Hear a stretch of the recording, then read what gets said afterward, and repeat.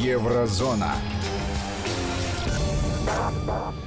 Э, по поводу встреч G7, Евросоюза, Россия, Украина. То есть то, что глобально там коалиция сформирована и кровью всех заставили подписать договоренности в глобальном противостоянии Китая, это американцы, конечно, сделали.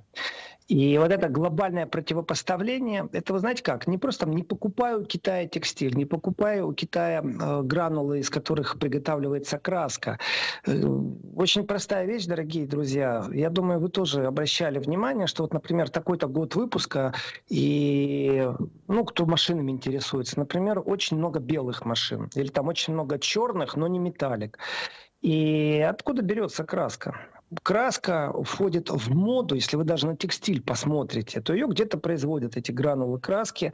И э, производство краски это вещь тоже, знаете, есть очень дешевая, а есть намного дороже. И там добавляются э, редкоземельные вещества, металлы. Это процесс достаточно интересный для тех, э, кто близок к химии, но не закупить у Китая невозможно. И когда Америка говорит, вы у Китая не покупайте, это не звучит так вот просто, мы вам запрещаем. Нет, они говорят, давайте мы с вами в Брюсселе создадим единое э, техническое руководство а также единый стандарт по закупке, и дальше идет перечень, чего закупать. И Америка четко знает. Вот у них есть частично тоже зависимость от Китая. Там полуфабрикат для той же краски, тот же гранулят там, или еще что-то и э, не вставляется в этот список там, где есть зависимость от Китая. Но как только у американцев есть собственное производство, которое легко можно расширить за европейские деньги, то они вставляют этому «вы не покупайте у Китая». И лопухи европейцы, а может быть не лопухи, а абсолютные предатели Европейского Союза с точки зрения экономической самостоятельности, потому что я считаю, политика зеленых в Германии – это предательская политика по отношению к государству Германия. И тому доказательств уже очень много. Э, и скандалов очень много. Вот точно так же Урсула фон де Ляйен – это предательская политика по отношению к Евросоюзу. Но абсолютно поощрительная по отношению к э, экономике Соединенных Штатов Америки. И в этом отношении вот подписать коммунике, создать центральный регистр, центральный протокол, комитеты, договориться о том, что будут все синхронизироваться, в принципе, это большая э, победа Америки и большое поражение Евросоюза, просто огромное. И до простого человека в Европе это не доходит. Это знают специалисты. И дело не в том, что специалисты уверовали в единую мощь, вот надо объединиться экономически, мы верим в то, что так лучше, эта модель сработает, мы объединим наши рынки, мы объединим наши производства. Нет, неправда это. И как только вникают, я разговаривал с представителем автопрома немецкого, человека, который 20 лет э, в автопроме немецком был на топ-позиции э, позициях менеджмента анонимизирую, потому что те вещи, которые он рассказывал, они просто потрясающие. Он рассказывал о том, как выкручивает Америка руки – как ворует менеджеров, как происходит это на взлете, когда молодые люди еще в школе менеджмента, как уже их приглашают и очаровывают идеей 100% безопасного размещения капитала и индустриальных мощностей на территории Соединенных Штатов Америки. И вы понимаете, тогда пугалка срабатывает. Вот Россия завтра будет бомбить Европу. Э, Европу Россия бомбить будет только в одном случае, если из Европы вылетит хоть какое-то тело в направлении Российской Федерации. Тогда не будет этой Европы. Сработает доктрина безопасности. Все прописано в Конституции России. И в этом отношении пугалки срабатывают. Я вот фразу сказал, что искренне верят в то, что не будет планеты Земля. Вот эти активисты, которые себя приклеивают э, по, практически по всей Европе, но в последнее время они особенно активировались в Германии. И, кстати, э, объекты исторического наследия в музеях, картины, которые были испорчены, потому что прям к полотну приклеили себя вот эти идиоты. Я был в Японии и говорил о символичности. И вы знаете, Хиросима, не Хиросима, э, вот эти все игры в символичность, это тоже, мне кажется, отвлекает внимание. Но у китайцев ты не отвлечешь сейчас внимание тем, что создана антикитайская коалиция. И Евросоюз подписал вот этот договор с Америкой. Это действительно договор на долларах. Это идет в копилку все-таки э, Америки, это не в копилку Европы. И хитрость американцев, она в данном случае прозрачна. Но еще раз, простой человек этого не видит. А те специалисты, которые должны по логике вещей аргументированно экономически, визионерством, с точки зрения финансов, инвестиций рассматривать Европу как отдельно от Америки существующий институт, эти люди не являются специалистами по экономике, эти люди не считаются специалистами по финансам, потому что ты не можешь идеологически быть экономистом.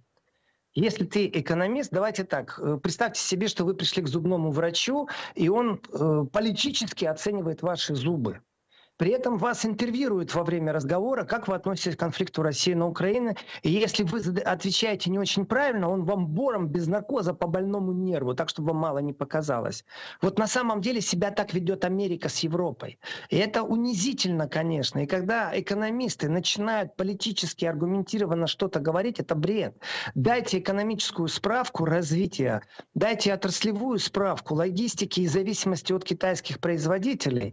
После этого пусть по политики думают, как это переложить на политические рейсы и выторговать собственный интерес. Здесь он с Китаем, здесь он с Соединенными Штатами Америки. Но если вы оголтело экономически начинаете из-за такта, что вы осуждаете агрессивную войну, поэтому нужно обязательно против Китая, то, извините, никакой логики нету. И тогда понятно, почему я обещал анекдот выложить про клоуна в телеграм-канале, э, потому что для меня вызов клоуна – это отвлечение внимания от повестки. Но вы не можете ее отвлечь у китайцев. Китайцы абсолютно четко поняли, и это уже не сигнал. Я считаю, что это дан старт не компании, а откровенной экономической войны, в том числе Евросоюз объявил себя подчиненным Соединенным Штатам Америки, и они, конечно же, союзники в этом деле. Э, против Китая, против Китая в экономическом контексте. На этом фоне, знаете, опять же, практически не обратили внимания о переговорах Тайваня с Соединенными Штатами Америки по поставке оружия. Стоп, стоп, стоп, стоп. Что там по поводу одного Китая? Это как? Э, у вас один Китай, ну какому-то одному Китаю вы как-то поставляете оружие или что? Значит, это не один Китай. Не надо мне врать. Я это прекрасно понимаю. И китайцы это прекрасно понимают. И Евросоюз в данном случае, э, вы знаете, э, есть различные вот подходы в политике, и э, вот в первой части мы говорили о том, что вот польские фуры, перегрузка. Я вижу реакцию по поводу того, что в России нету такого количества фур. Стойте, стойте, стойте. И никто не говорит, что это будет легко и просто. Даже место организовывать нужно. Белорусов нужно спросить, как они к этому относятся. Но вы знаете, ничего страшного. Переболеют, и через год будет все в порядке, все будет налажено. Не надо каждый раз оглядываться на тонкости. И вот эта вот оглядка у китайцев тоже есть осторожности определенные, что если дать европейцам пошагово выстроить взаимоотношения, как они хотят того с Китаем, то, в принципе, э, шаг по шагу, вот как, например, с газом из России, а мы еще до сентября покупаем, а до ноября, а мы потом наполним хранилище. Мы у вас будем брать столько, сколько нужно. Но политическая окраска звучит так, что не сколько нужно Европа потребляет, в том числе и Германия, а мы, мол, Россию наказываем, мы бы взяли бы больше. И дальше начинается наказывание России посредством закупки сжиженного газа э, у американцев э, по цене в 4 раза дороже, чем российский газ. Стоп, стоп, стоп, стоп. Вечное отвлечение внимания – вот этого фокусника, иллюзиониста, который вытаскивает кролика из шляпы, но при этом вам не только забалтывает мозг и разум, он еще делает определенные шаги. Вы вначале, когда пришли на это э, представление, вы хотели увидеть действительно, как из цилиндра вытаскивают кролика. Вот кто-то из вас видел вживую, как это происходит? Вы действительно, те, кто видели, можете подтвердить, что вы э, знаете, в каком рукаве кролик в начале самом сидел и как это произошло. И вот пока я с вами разговариваю, оглянитесь. Рядом с вами сидят люди, у них уже часы сняли, у них уже сняли рубашку и штаны, они сидят в трусах на представлении. А мы дальше с вами будем говорить о кроликах.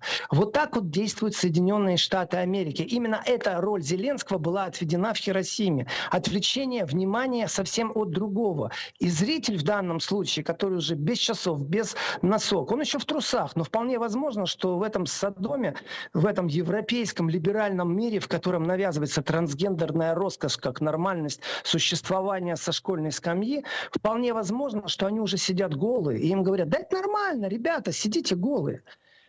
И, конечно же, э, еще вчера э, Зеленский разговаривает с Мелани, с премьер-министром Италии. У меня в телеграм-канале выложены видео, которые, это драматические, конечно, видео из Италии. Драматизм наводнения очень сильный. Если в Португалии практически 90% земли засуха, неимоверная, это катастрофа просто для португальских фермеров. Ну, можно так сказать, у них нет больше фермерства. В этом году урожая в Португалии совсем не будет никакого то в Италии э, наводнение. Э, напомню, что первый христианский университет – это город Болония. Э, я выложил кадры, и там, среди прочего, есть видео, где итальянцы разбирают после наводнения улицу, вот все, что вынесло, и поют песню «Моя Болония». Вы знаете, мило, мило, мило. И назвать этих итальянцев волонтерами. Сколько по Италии ездил, всегда очень доброжелательное отношение к России, к русским, к русскому языку. Представьте себе, вам официант приносит пиццу. Ну, классика. Конечно, в Италии надо либо макароны, либо пиццу заказать. Но не мясо же, не сосиску же э, баварскую. И он вам тихонько говорит, там за соседним столом сидят украинцы. И при этом кривит лицо и показывает, что он всей душой с вами в Италии хорошее отношение к э, России, к русским, к русскому языку. Ну, политики, опять же, ну, политики. И вот Мелани, она оставила э, Японию, вылетела, потому что это, конечно же, катастрофа. Э, урожай в этом регионе от наводнения полностью уничтожен.